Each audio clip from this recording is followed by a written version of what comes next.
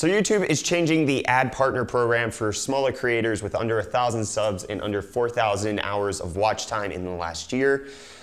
I want to talk about that. I wanted to do a bit of a different type of video here for the channel today. I know that this is not our regular type of content. We are very much a tech channel. Uh, we're very much high energy, but I wanted to bring in a little bit of real talk for those who are getting affected by this change, those who are wondering what is even going on. Uh, I think that I can maybe provide a little perspective for those of you who might be wondering about all of what YouTube is trying to do here, and to give you a little bit of insight into what we've done on the channel and how how this would have affected us, you know, a year and a half ago when we were in your shoes, when we didn't even have a thousand subscribers and we hadn't hit these marks to get monetized. I really think that this change to the partner program doesn't affect creators. Now let me let me explain what I mean by that. I think this affects YouTubers, people who want to make it big on YouTube, the kids who are starting out, the, the adults who are starting out, everybody who is making a YouTube channel thinking that they're going to make money, thinking that they're going to be like the YouTuber that they look up to, that they idolize, thinking that they can be the next Linus Tech Tips, the next PewDiePie, the next Markiplier, the next whoever, the next Logan Paul even. When, when that is your motivation behind YouTube, this sucks. This hurts you the most because, ah, I can't be like who I idolize when I can't make money like they do. That sucks. The honest reality is that this does not affect content creators. Content creators are people who make videos because they want to. When you think that your voice, your perspective, your ideas are worth something and worth putting out there, getting paid doesn't really matter as much. I think the start of UFD Tech is really important here. I started making videos because I hated how much time I was wasting. I was watching Linus Tech Tips, I was watching Paul's Hardware, Awesome Sauce Network, JayzTwoCents, all of the big names. I was looking at them and I was like, wow, this is awesome. I live vicariously through them. I can't believe that they get all of this awesome hardware. I wish I could be there one day. And then it just occurred to me, you're never going to achieve anything if you're just watching other people. You're never going to become like the people that you look up to if you just keep looking up. You have to look down and start digging in the dirt to actually get something done. This is what I said to myself Brett, you're wasting your time. Either stop watching them or start making content yourself.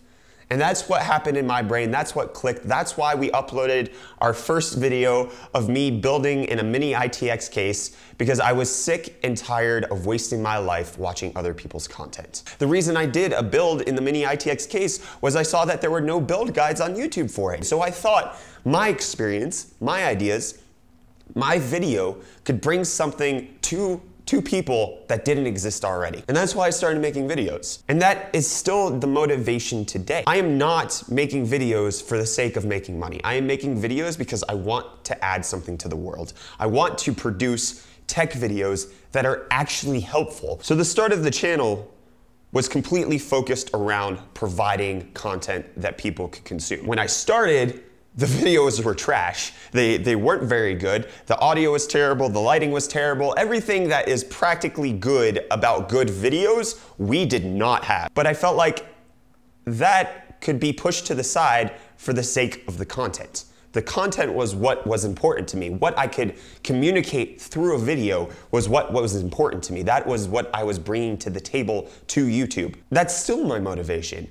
And if I didn't make a cent off of any of those videos, it wouldn't matter to me. I didn't make that first video because I wanted to get paid. I made that first video because I thought it added something to the community. And when I see small creators getting upset with YouTube for removing their AdSense, there, there's two sides of it. I, I absolutely sympathize. I know money is a motivator. I know it sucks that you can't get paid for your work, but at the same time, why are you making videos? I think this will help separate the wheat from the chaff, the people who are making videos to make a name for themselves and people who are making videos to actually provide something to everybody else. Those who are actually contributing, those who are not looking up in the sky saying, I want to be like that, but those who are in the dirt actually digging, actually trying to set a foundation to build something upon. Because when you're, when you're digging a foundation, it's dirty, it's messy, you're pulling up crap all of the time, you're throwing it everywhere, it gets disorganized.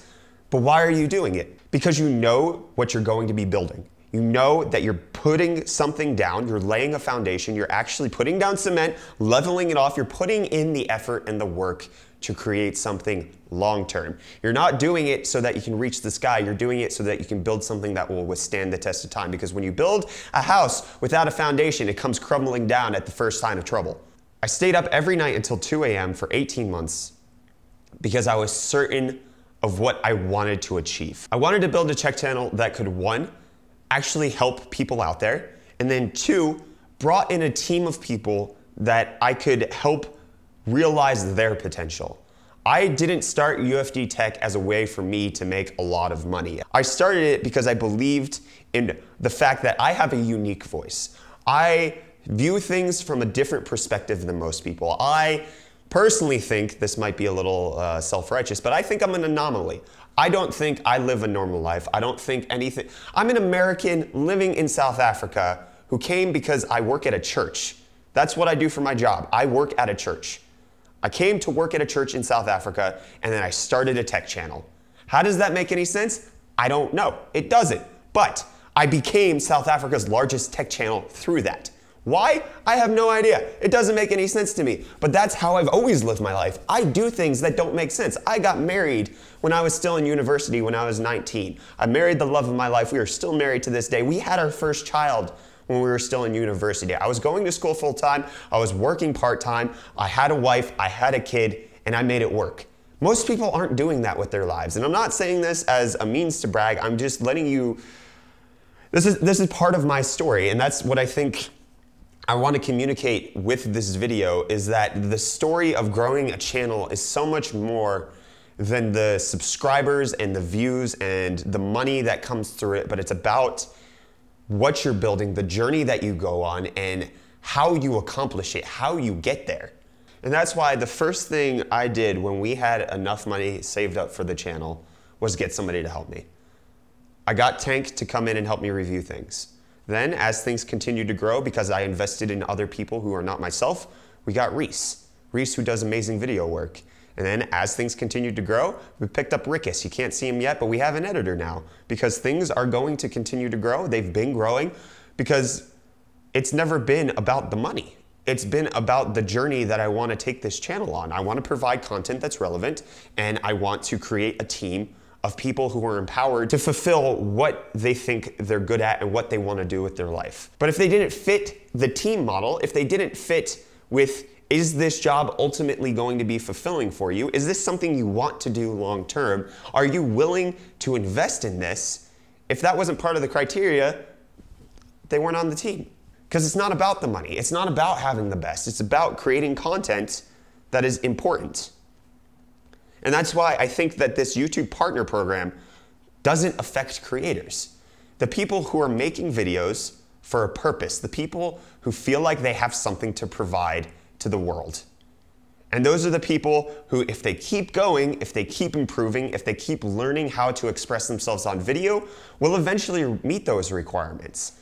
And that's why I want to dedicate some of this video to, to actually giving airtime to people in South Africa who I think are actually creating content who are doing a good job, and I want to give them a shout out for whatever it's worth for whoever's watching.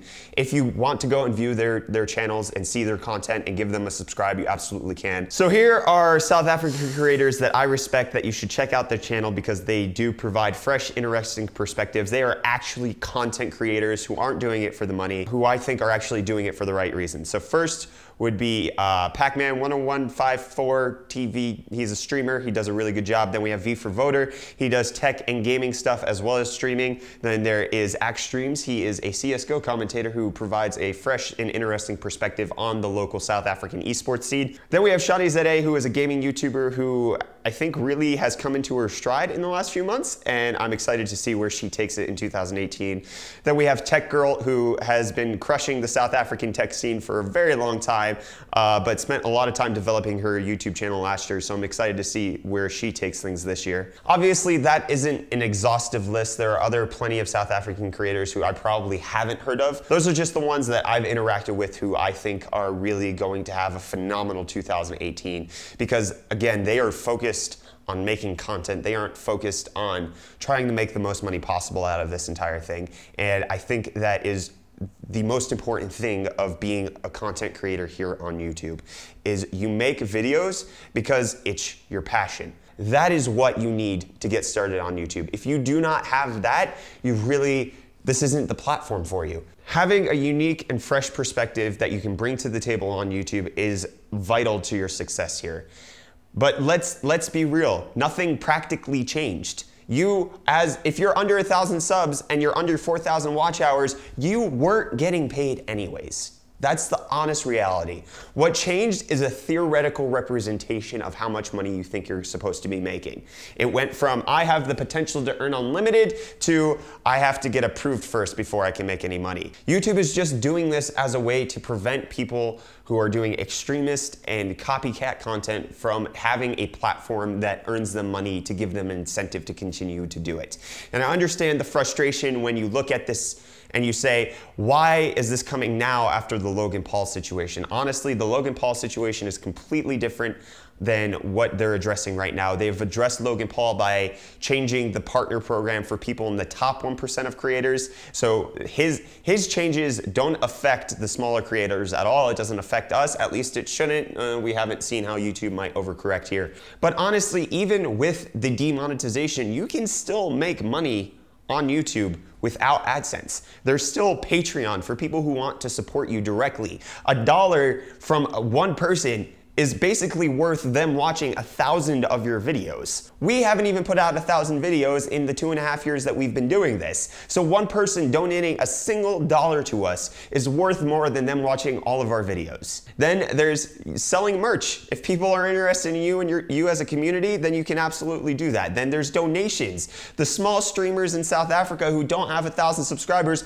probably aren't at a real loss because Streamlabs is still an option. You can still earn earn donations through PayPal. There's still ways to monetize just outside of getting ads on, on videos. That wasn't a significant source of revenue here at the UFD Tech channel until August. Until August, like less than six months ago, we weren't making enough off of AdSense to even matter. And I think that's where you smaller creators need to focus. And I think that's part of our success here. We have lost a lot of people along the way, but those who we've really struck a chord with watch our videos for longer, thus allowing us to get more watch time, which is what you need. Once you build a community of people who actually care about your videos, those milestones really don't become an issue anymore. You have people who care about you, who are invested in you, who are invested in your channel, and then you're going to be able to grow. Obviously, I get it. There's a lot of frustration surrounding this situation. YouTube, as always, is not great at communicating what the heck is going on. I mean, I am still incredibly frustrated when they demonetize our videos. I, I understand the frustration in principle. I rage at the wind with YouTube, complaining on Twitter all the time, just like you guys do. YouTube sucks at communication. That is the honest truth. However, I, I really think that in practicality, you're not losing money as a small creator through this change. All you're learning is how to build an audience. All you're learning is that your content is more important than the money. And those are the lessons that are the most important ones to learn here on YouTube. Once you solidify those, then you're able to build a great channel. Once you realize that the content that you put out and the people that it's reaching are more important than anything else, that's when you're going to be able to grow and that's when you're going to reach people, impact their lives, and change things for the better. This is me just talking off the top of my head. This is something that I have really been. Um, this is something that I've seen in the small creator community because I'm still very much active with small creators. Just because we've grown doesn't mean that I somehow will stop caring about the people who have gotten me to this point and the people who have inspired me, whether they're big or small. Like, I, I care about content creators, whether they have 300 subs, 3,000 subs, or 3 million.